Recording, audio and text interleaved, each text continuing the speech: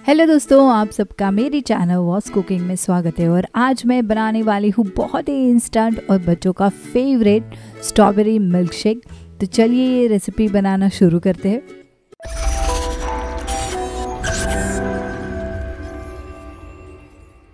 ये रेसिपी बनाने के लिए सबसे पहले हम लेंगे एक मिक्सिंग जार आपको यहाँ पे बड़ा वाला मिक्सिंग जार का इस्तेमाल करना पड़ेगा। और फिर मैंने यहाँ पे लिए है पाँच स्ट्रॉबेरी आप यहाँ पे पाँच से छः स्ट्रॉबेरीज़ का इस्तेमाल कर सकते हो। इससे आप दो ग्लास मिल्क शेक आराम से बना सकते हो। इन स्ट्रॉबेरीज़ को मैंने यहाँ पे कट कर लिया है ताकि यह आसानी से ग्राइंड हो। तो इन्हें हम मिक्सिंग जार के अंदर डालेंगे। और फिर हम इसमें डालेंगे शक्कर। तो मैंने यहाँ पे तीन चम्मच शक्कर डाली है। आप यहाँ पे शक्कर की जगह हनी का भी इस्तेमाल कर सकते हो, या फिर आप इसमें कंडेंस मिल्क भी डाल सकते हो। शक्कर आप आपके स्वादानुसार डाल सकते हो। शक्कर डालने के बाद हम इसमें डालेंगे बर्फ़। तो मैंने यहाँ पे दो आइस क्यूब का इस्तेमाल किया है। पहले मैं इन सारी चीज़ों को ग्राइंड कर लूँगी और फिर मैं इसके अंदर डालूँगी दूध। मैंने ये इसलिए किया है ताकि ये जो सॉलिड चीज़ें हैं, वो अच्छे से और फाइनली ग्राइंड हो। तो आप देख सकते हो ये बहुत अच्छे से ग्राइंड हो चुके हैं।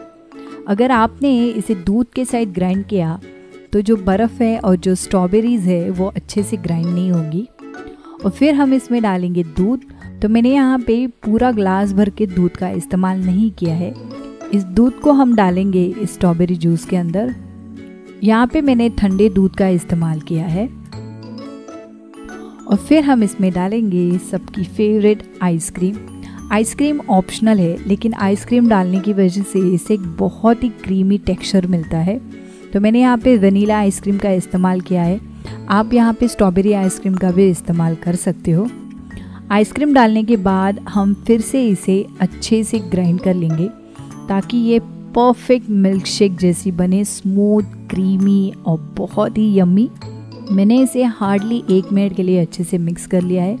तो आप देख सकते हो कि इसके ऊपर बहुत ही झाग और बहुत ही थिक ऐसा फोम आया है।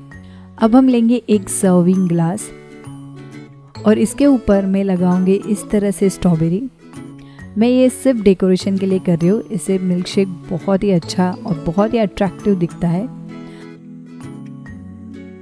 अब हम इसके अंदर डालेंगे ये मिल्क शेक तो आप देख सकते हो, इसे बहुत ही अच्छा कलर मिला है और बहुत ही अच्छा टेक्सचर मिला है।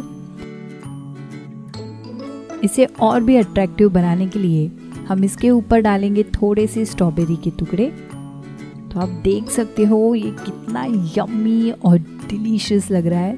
तो लीजिए आपका झटपट और instant strawberry milk shake ready है। आपको मेरी ये रेसिपी कैसी लगी, आप प्लीज़ मुझे कमेंट करके ज़रूर बताइए। और ऐसे ही मज़ेदार और इंटरेस्टिंग रेसिपीज़ के लिए आप मेरे चैनल को सब्सक्राइब करना ना भूलें।